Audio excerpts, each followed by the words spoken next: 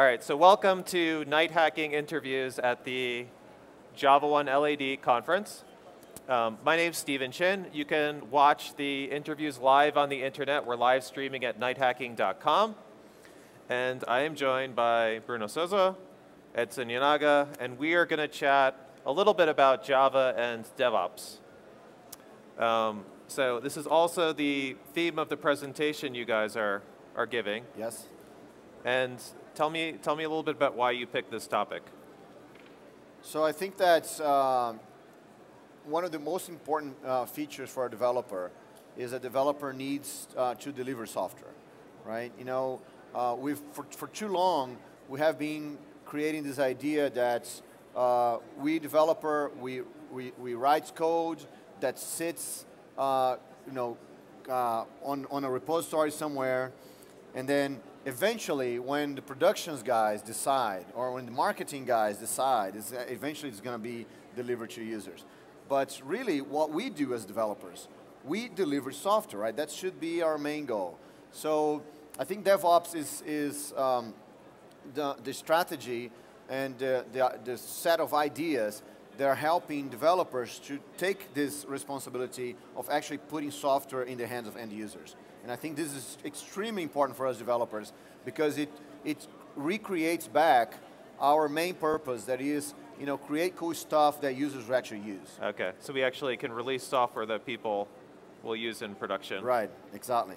Okay, what are some of the, you were going to say something, Edson? Yes. Yeah, I would like to say that we've been talking and using DevOps for the past like two or three years, and uh, deployment software in production has always been so painful so that people usually try to avoid what makes them feel pain. And what I think what DevOps also brings to the table is that we now have uh, techniques and the willing of people to help uh, avoid this pain. So we can uh, release faster and put software in production so nobody, uh, nobody else has to spend the nights uh, all, all night long Uh, trying to fix bugs and uh, correct uh, server problems and issues just to release the software without pain. Okay, so he makes developers' lives less painful. Yes. Dealing with production issues well, and I would say more enjoyable. More, enjo more, more, enjoyable. more enjoyable. Right.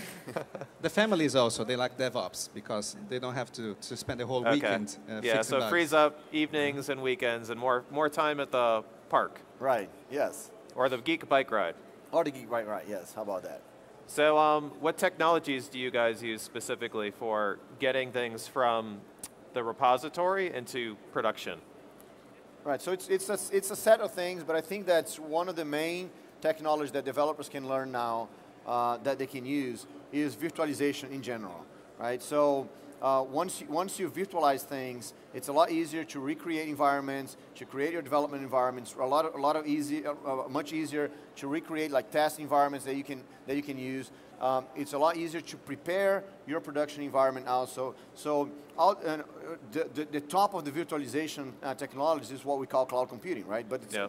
this whole process of virtualization uh, from virtualized environments in your laptop to you know, all the way to, to virtualizing even um, platform as a service environments in cloud. Uh, you know, by when we abstract uh, the hardware and we, we allow um, uh, software to drive the whole to drive the whole process, then it means that we can actually automate a lot more of what we're doing. So, so I think I think that the base of all this discussion today has been a lot of virtualization. Yeah, just like Bruno said, with virtualization now we have automation. So you can you can use DevOps with, with, with virtualization using tools for automation. You can automate anything with any tools you like. You can use a shell script to do, to do DevOps. You can also use um, uh, more advanced technologies. Uh, these days we talk about a lot about uh, containers and Docker, but you don't have to use Docker to do DevOps. You can use shell scripts with an automation tool, with a continuous integration server, just to put some pipeline that with a button, you can release your to the next stage of your software development process.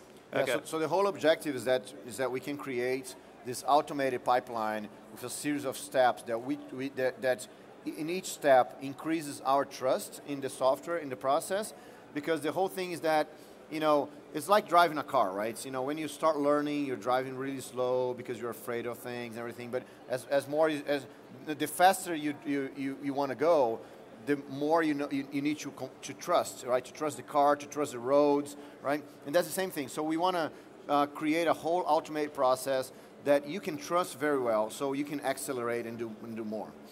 Okay, so it, for folks who are getting started with automating some of their back-end processes, mm -hmm. what, what's a good way to get started? How would people kick off a DevOps initiative in their company? Uh, that's a very interesting question because in our session that we present tomorrow, that's, exactly, that's exactly the things we're going to talk about. Right. Uh, some simple steps that you can do to start DevOps in your team today. Okay, yes. so you're not gonna you're not gonna let out the secret sauce yet. Oh, we you're can, saving we can, that for no, tomorrow. we can we can tell yeah we can we can tell a, a, few things right. You know I think that's that's uh, uh, uh, we we have a, we have lots of different things that you can do, but uh, I, we think that if you start by uh, automating how you deploy your application, for example, that's a, that's already a good start, right? Yeah. You know, just just uh, just by automate. Uh, right now, a lot of people still are still doing deploying by hand, right? And they're still kind of copying WAR files to somewhere. And and I think that once you do this, do this by hand one time, figure out exactly all the steps that you need to take, right? And then write a little script and automate this little part, right? So I think that every time you automate a little thing, a little thing, you're getting closer to DevOps. And a lot of things, a lot of times when, when you talk about DevOps, people think that, oh yeah, DevOps is a changing culture. And really, culture is really hard to change. So I think we can do those small steps that we actually make it possible for us to show how, how, how this can be done. And then eventually the culture is going to change. We don't need to start by changing the culture. Yeah, we can tell our team, oh, tomorrow we're going to be doing DevOps. Uh, we, should do, uh, we should do and choose some very small steps because when you, uh, uh we know that deploying the uh, DevOps process, it's a very long road. Uh, but we also know that in every long road, we can start with very small steps just to increase confidence. We can choose very, very the pain points of our software deployment process, and we can try to automate the simple, simple pain points just to increase our confidence so that we can have even more confidence to automate even more. Okay, yeah. so do either of you guys have examples from your professional work where you've gone from a culture which wasn't DevOps and then what the changes were once you automated and got more DevOps in your company. Can you think of an example from some project you've worked on about the benefits? Yeah, the one, one interesting thing is that uh, when you talk about DevOps and all this discussion about culture, both me and Edson, we are consultants, right? Yeah. So we do this all the time. so, so basically, and, and it's funny because when you, when you get to, to, to a consulting job, you, you don't have any, you can't change anything inside the company, right? It's very, it, it, it's, you, you're, all the, uh, how, how can you, an outside person, change the culture of a company? It can't happen, right? The culture is something that happens inside. And so basically, what we try to do is like get small steps that can be done, right? So first of all, you know, automates uh, the, the, the, deployment of the application in the test environment or in the development environment. Automate the creation of the development environment inside the, the, the, the developer uh, uh, laptop, for example. So that's the kind of things we have to do. And, and, and I think you know, we've, we've done this in, in dozens of different companies. Um, and sometimes uh, you get to a company, for example, and just by uh, configuring the right way, the, the uh, code repository and defining you know, how commits are done is already a big step, right? Okay, all right. So since you guys do lots of companies, no, no names. No names, yes. No, no companies. Names, no companies, right. What was the worst situation you walked into from like an anti-agile DevOps culture? Okay, I have one that's pretty recent, right? Okay. That, I've, I've been talking about this in my talks. And, that's, and, and that shows the frustration.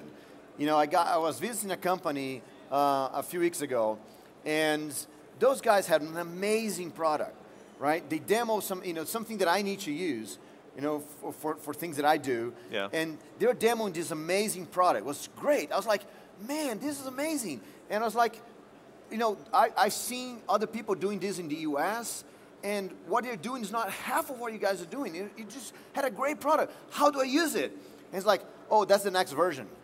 You know, it's not available yet. I'm like, what are you talking about? So, you know, because we're, we are several months here trying to make sure that's going to work and, and everything. And so, so, you know, they have this amazing product that lots of users want and, lo- and would love, and they can't deliver it because it's sitting on their repository. And, you know, I think, I think that's, the, that's, that's what's frustrating for me, right? When, Yeah. when you know that so many great code, so many features, so many functionalities, so many bugs are solved inside repositories, and, they're not being used. can't, users can't access it. Yes, exactly. Yeah, the, the worst scenario I faced it, it was like uh, two years ago. We have a, uh, I went to a company. They had a deployment process which took a month to, to release each version. It, they took ad- about uh, two full-time developers, a whole month to release a version. So they, when they finished it, they already had another version to deploy. So the schedule was always one month late. Yeah.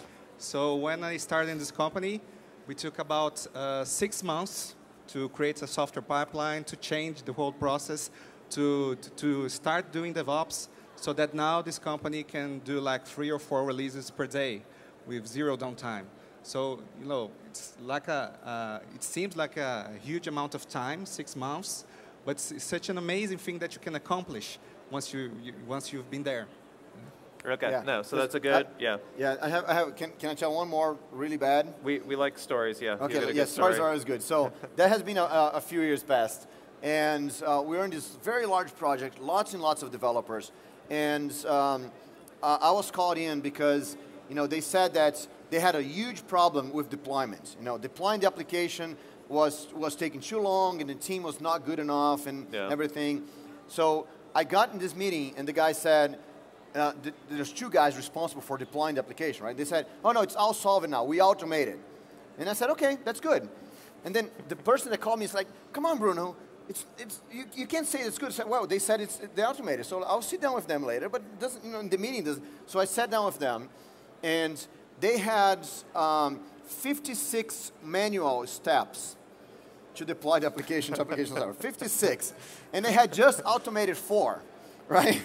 So they now only had 52 manual steps to deploy the application.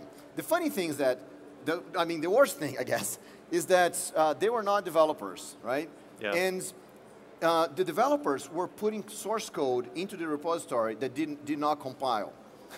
so those guys receive all this bunch of source code that did not compile, and they had to deploy in the application server to test it because the developers didn't have a test environment, right? So, so what did they do? They were not developers, so they would comment the lines that didn't compile, right? And try to compile again. And once that didn't work, they would comment more lines until we finally compile, right? And then they would deploy the application. Of course, nothing worked, right? so, and, and, and all of, in, in all this time, the developers were saying, we finished the source code. It's a deployment problem, right? and, and really, you know, that's, that's, that's kind of the crazy thing, right? We developers, we have to assume the responsibility that unless our code is running, being used by an end user, it's not done, right?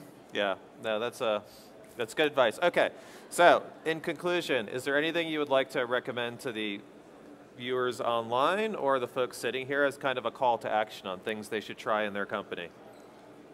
So first of all, there's a lot of very, very cool open source applications out there that you can use immediately on your project. So you don't have to, you don't have to, to uh, buy huge license or change uh, a lot of the things you're doing. You can, you can start using uh, some very cool uh, open source applications that will help you immediately. And I think, you know, and by using those, those, those open source tools, you can do like little steps uh, to improve things.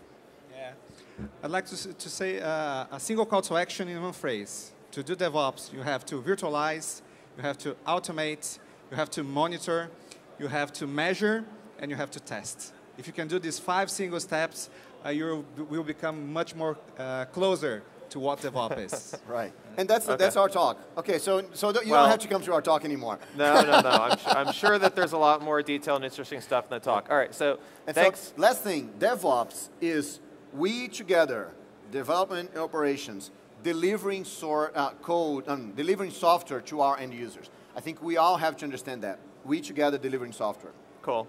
All right, so round of applause for these guys. Thank you very much for a great interview. Thanks a lot, Steve. Um, so we're also going to be doing additional interviews all day today. So myself, Pablo, Yolan will be interviewing other folks. Some of the talks will be in English, some will be in Portuguese. I hope you'll join us for our additional interviews. And you can also tell your friends to watch on the live stream at nighthacking.com. So thank you. Thank you.